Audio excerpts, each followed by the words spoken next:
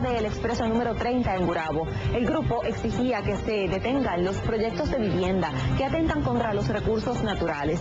Según los manifestantes, sus reclamos no van dirigidos a proyectos de construcción en específico, sino al modelo que es avalado por los políticos.